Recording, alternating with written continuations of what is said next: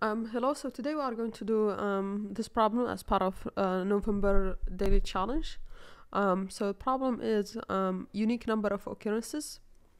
So we have an array of integers, um, array, and we want to return true if the number of occurrences of each value in the array is unique. Um, and we want to return false if not, otherwise, right? So basically, two you can see here occurred twice, one three times, and three one time, right? So the number of occurrences, so the, the occurrences, the count of the occurrences itself is unique. Um, and then here, each of them occurred only once, so it's not unique, we return false. Um, and here you can see three, for example, occurred three times. Uh, one occurred one, two, three, four. Okay, ten occurred just once, zero twice. Um, so you can see it's uh, they are all unique, right? So that's the idea. Um, the length of the array is not too long; it's up to one thousand.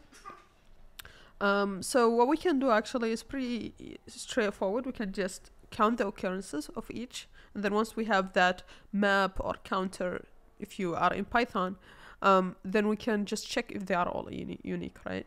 Um, so pretty straightforward um, possible solution here. Um, so first we need to get the count of the occurrences.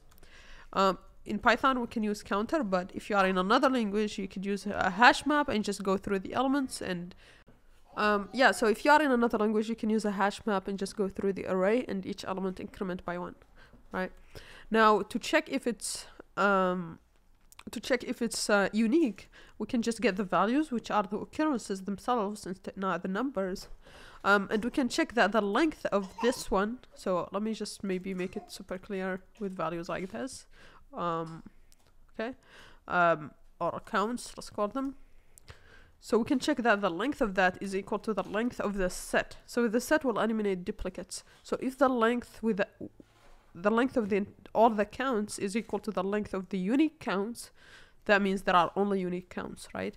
And so if that's the case, then we want to return true. Okay. Um, so let's run this. And let's submit. And that passes. Um, yeah, so in terms of time, this would be O of n, right? Um, in terms of space, we are using this extra of an um, counter, or if you are using a map, uh, a map, right? Um, yeah, so that's pretty much it for today's problem. Please like and subscribe, and see you on the next one. Bye.